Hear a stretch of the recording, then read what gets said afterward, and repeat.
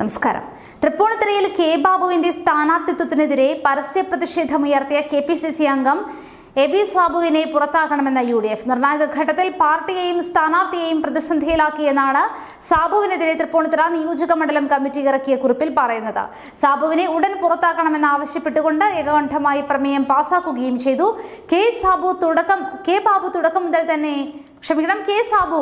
തുടക്കം മുതൽ തന്നെ സ്ഥാനാർത്ഥിയെ അപകീർത്തിപ്പെടുത്തുകയായിരുന്നു സാബു. തെരഞ്ഞെടുപ്പിന്റെ തലേ ദിവസം നടത്തിയ പ്രസ്താവന.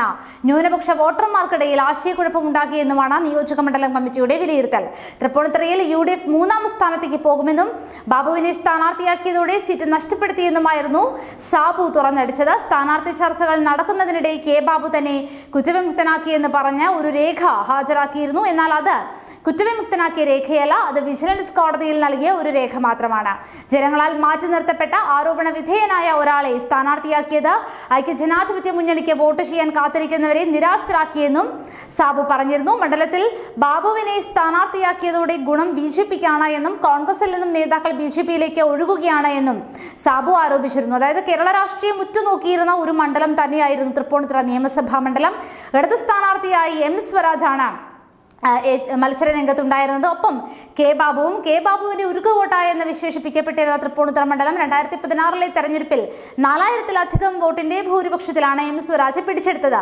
അതിന് പ്രധാന കാരണം അക്കാലത്ത് ഉയർന്നു വന്ന ബാർക്കോഴ കേസ് തന്നെയായിരുന്നു. ഇതാണ് ഈ മണ്ഡലം ഇടതിലേക്ക് ചായാൻ പ്രധാന കാരണമായത്.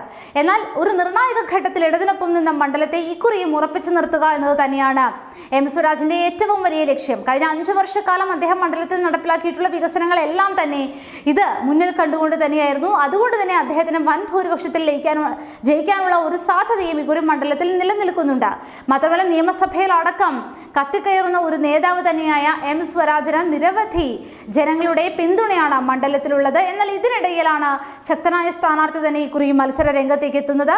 കെ ബാബുവിന് മുൻപ് നിരവധി പേരുടെ പേര് കോൺഗ്രസിൽ നിന്ന് പറഞ്ഞു കേട്ട മണ്ഡലം കൂടിയായിരുന്നു തൃപ്പൂണിത്തറ എന്നാൽ ഒടുവിൽ എം സ്വരാജിനോട് ഏറ്റുമുട്ടാൻ കെ ബാബു തന്നെ രംഗത്തിറങ്ങുന്ന സാഹചര്യം ഉണ്ടായപ്പോൾ ഇഞ്ചോടിഞ്ച് പോരാട്ടമാണ് മണ്ഡലത്തിൽ കാഴ്ചവെച്ചിരുന്നത്. ഒപ്പം ബി ജെ പിയും ശക്തമായി ശബരിമല വിഷയം അടക്കം ഉയർത്തിപ്പിടിച്ച് രംഗത്ത് നിൽക്കുന്ന ഒരു മണ്ഡലം തന്നെയായിരുന്നു. ഇതിന് ഇതിനിടയിലാണ് സ്വന്തം പാർട്ടിയിലെ സ്ഥാനാർത്ഥിക്കെതിരെ അത്തരത്തിലുള്ള ആ പാർട്ടിയിലെ തന്നെ ഒരു നേതാവ് രംഗത്ത് വരുന്നത്. ഇത് തന്നെയാണ് കോൺഗ്രസ് കേന്ദ്രങ്ങളെ ചൊടിപ്പിക്കുകയും ചെയ്തിരിക്കുന്നത്. ഏതായാലും ഇഞ്ചോടിച്ച് പോരാട്ടം നടന്ന തൃപ്പൂണിത്തുറ നിയമസഭാ മണ്ഡലത്തിൽ ജനവിധി എന്താ എന്നറിയാൻ ഇനി ദിവസങ്ങളോളം കാത്തിരിക്കേണ്ടിയിരിക്കുന്നു.